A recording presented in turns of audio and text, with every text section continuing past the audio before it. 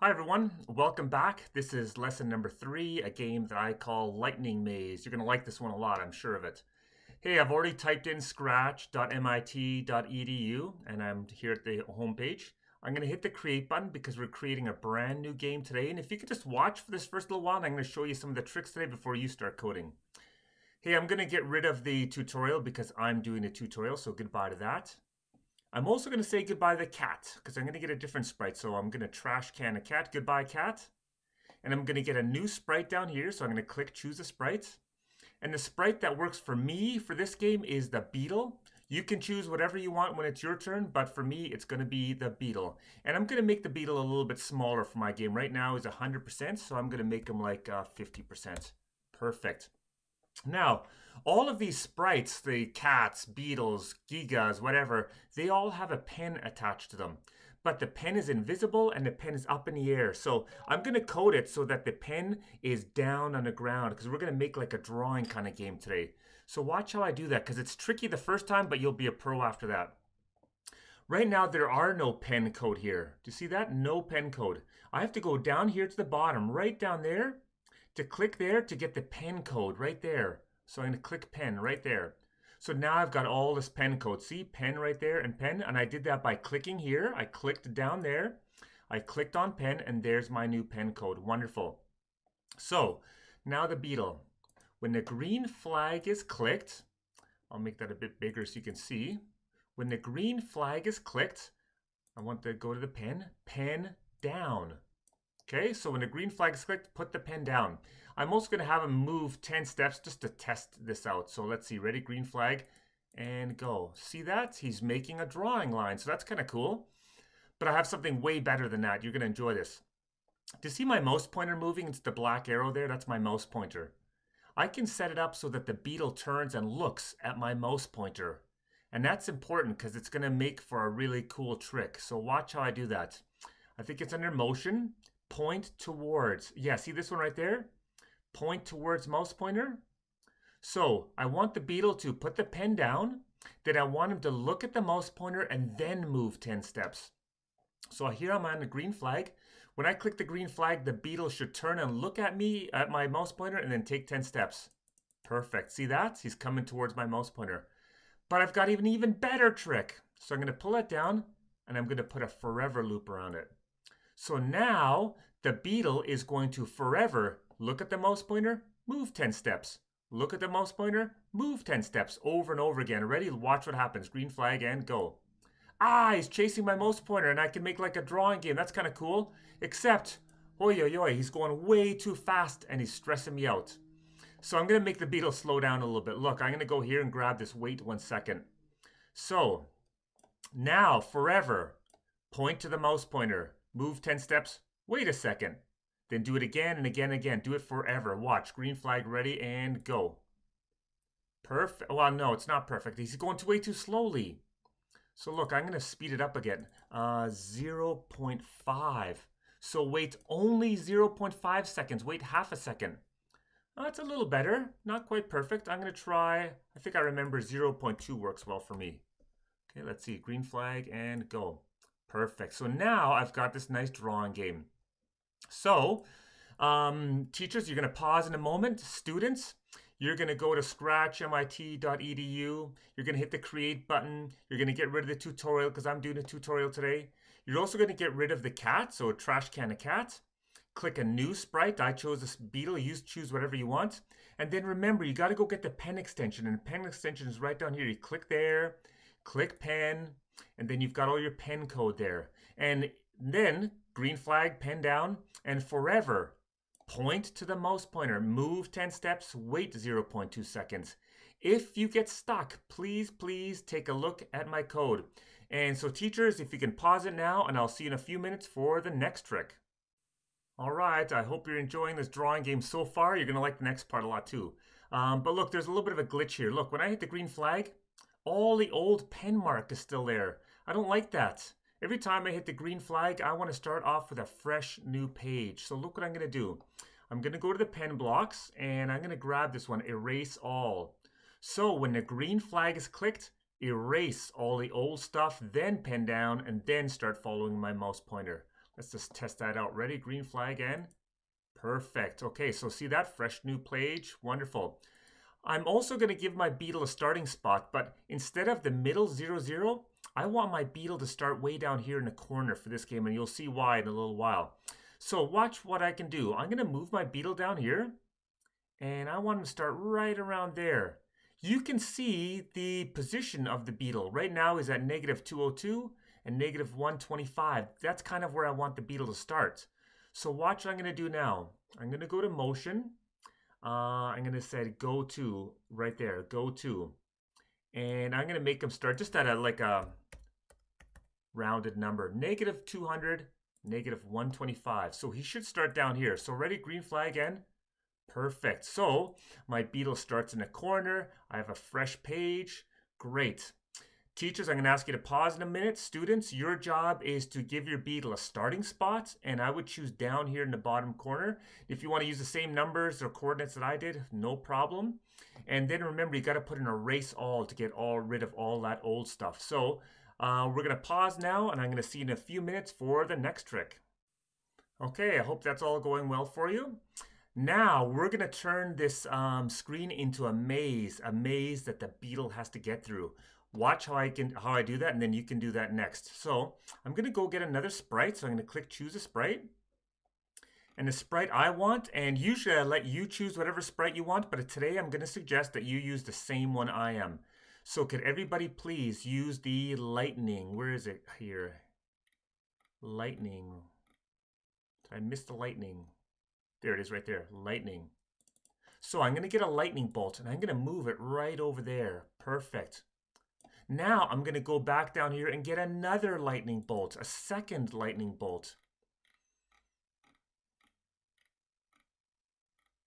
There it is right there. Now I'm going to move that maybe right up there. Now I'm going to get a third lightning bolt. That's three lightning bolts. Come on. There we go. Wonderful. And I'm going to move that one right there. Whoops, I got a butterfly in there somehow. I'm going to get rid of the butterfly. So goodbye to the butterfly. Now I've started to make a little bit of a maze. I've chosen three lightning bolts. You can choose three lightning bolts or four lightning bolts or five lightning bolts. But now look what happens. Ready? Green flag again. Now I've got this maze to get through, this lightning bolt maze to steer my beetle through. Yikes. Okay, so that is your job now, is to go to the sprites button and get a bunch of lightning bolts and put them in different places to make a, a maze for yourself. Okay, so teachers, if you could pause here, students, your job is to make a maze using lightning bolts, and I'll see you in a few minutes when you're ready for the next part. Okay, next thing. You know, somebody coming to play your game, they wouldn't know what you're supposed to do. Are you supposed to like hit the lightning bolts, get through them? Who knows? We got to give some uh, kind of instructions, but I'm going to do it differently this time. Watch, I'm going to do this time. Uh, this time I'm going to go down here and instead of clicking choose a sprite, I'm going to click this paintbrush. See paintbrush right there? I'm going to click paintbrush. Now I'm going to choose a color. Maybe I'll choose a nice bright red. Let's say that. Then I'm going to choose a letter T for text right there, T. And I'm going to write the word start. There we go. Click over here somewhere. I'm going to make this a little bit bigger like that. Wonderful. Now there's the word start. I'm just going to grab it. It might be hard to grab. You got to click right on the red. And I'm going to move it right down there. Now I'm going to do it again. So I got to go down here and click the word, the paintbrush again. Okay, so a second time click paintbrush. Choose a different color maybe. I'm going to choose a nice dark green, let's say, a nice bright green. There we go. And click on T for text, and I'm going to write the word finish.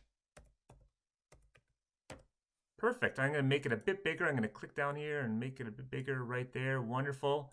Now I'm going to grab the word finish, and I'm going to put it up here. So now people kind of get the idea. Oh, I got to get all the way to the finish line without hitting these lightning bolts. That's perfect. Wonderful. So, so far, so good. Hey, if you want to change the direction of some of your lightning bolts, you can right now. See, all the lightning bolts are facing a 90 degree or at 90 degrees. We can change that. For example, I'll click on this lightning bolt right there. That's that one. Okay, I clicked on that. And I'm going to change the degrees a little bit. So I'm going to make it maybe go sideways. If you want, you can do that.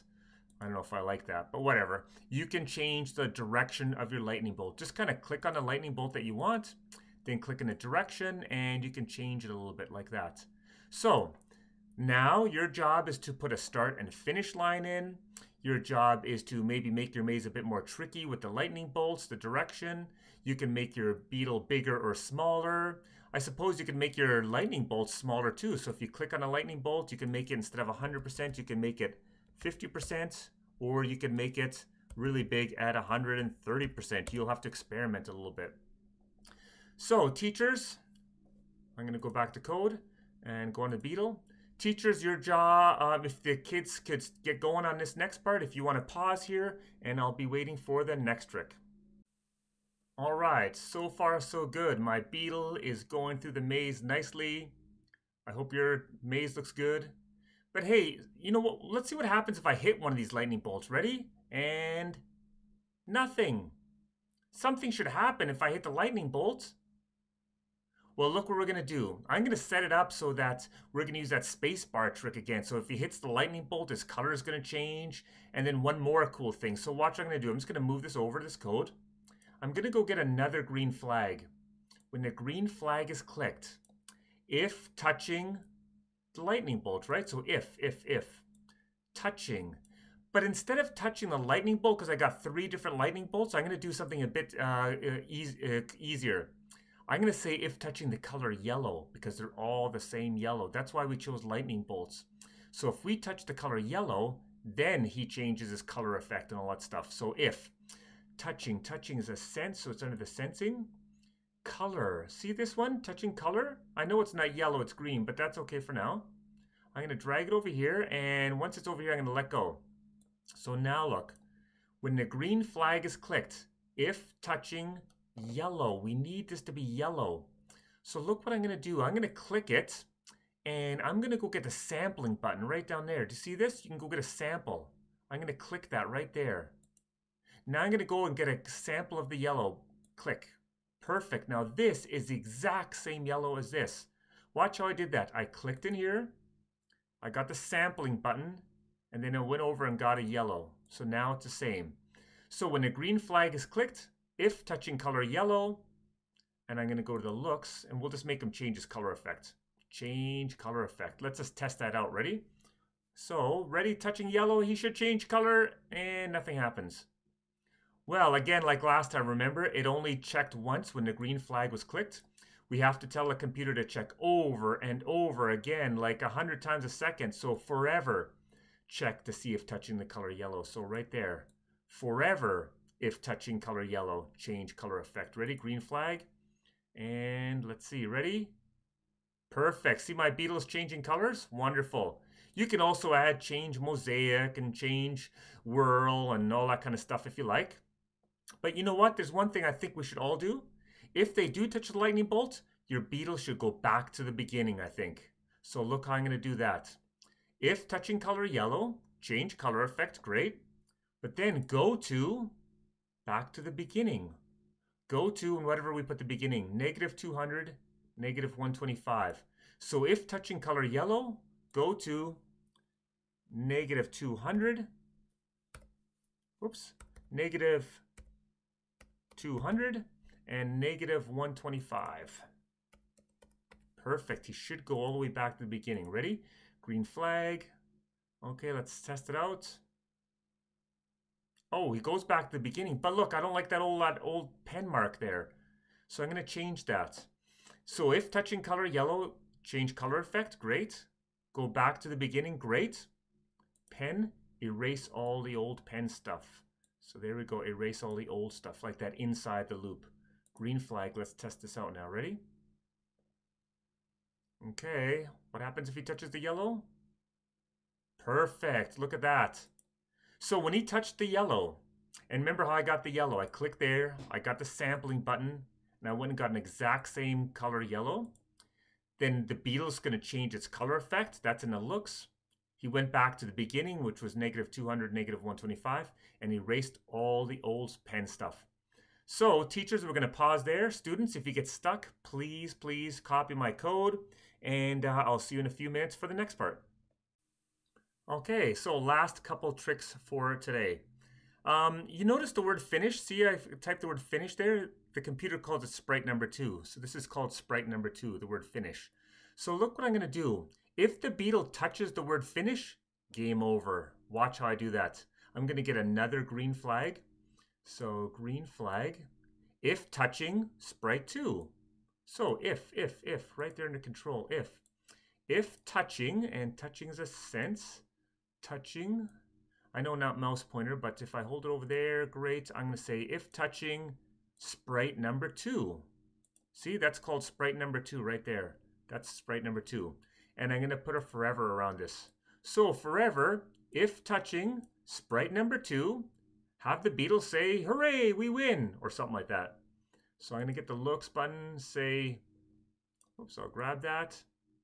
So when the green flag is clicked, Forever check to see if touching sprite number two, which is the finish line. If it is touching sprite number two, then say, hooray, you win. And I'll have him say that for two seconds. Fantastic. So green flag and great. So when he gets to the finish line, the beetle should say, hooray. That is if I can get through without touching the lightning. Again, I'm good at coding these games, but I'm not good at playing these games. So let's see what happens. Ready? Perfect. It says, hooray, you win. Wonderful. So you've got that. Um, you'll notice I didn't put a background on here because sometimes in the background there might be the exact same color yellow that's in the lightning and that would confuse the computer.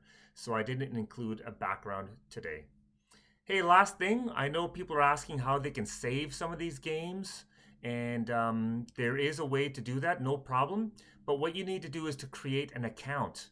So my suggestion is you go home tonight and get your parents to help you because you need a real email address.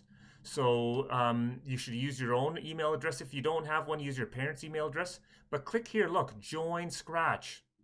You click join Scratch. It's going to ask your name, where you live, and all that kind of stuff. But it's also going to ask for an email you have to put a real email in there because once you do, then Scratch is going to send you a, a message saying, Is this really you? And you're going to have to respond, Yes, it's me via your email. And so once you've done that, then you have an account. And then you can save your game. You can go to File, Save Now, and you can have a whole bunch of your games saved to work on later and to play later. So I hope you enjoyed that uh, game, Lightning Maze. I hope you're going to go home tonight and get a Scratch account, get your parents to help you, use a real email address, and then you can start saving your games, making other games, and uploading them, and all sorts of great stuff. So I hope you've enjoyed this one. I will see you tomorrow because we're going to have another good one, or next time. We're going to have another great lesson next time. You're going to like the next one. It's a cool patterning and drawing game, kind of like Spirograph. Okay, bye-bye.